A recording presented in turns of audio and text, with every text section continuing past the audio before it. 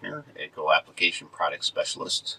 I'm going to take you through some of the basic settings in the AccuTerminal.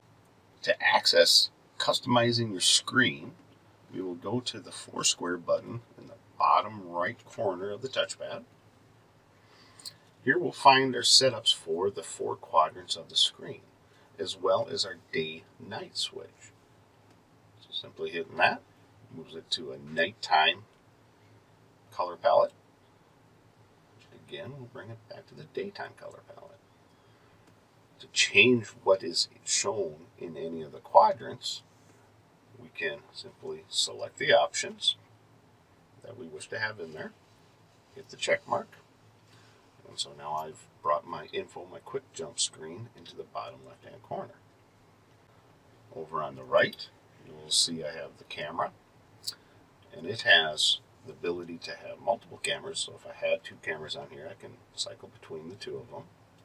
I can have it where it automatically goes on for going into reverse.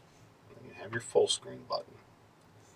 On the bottom left, I have my info, which allows me to put some quick jump keys to access different items without having to go through several pages.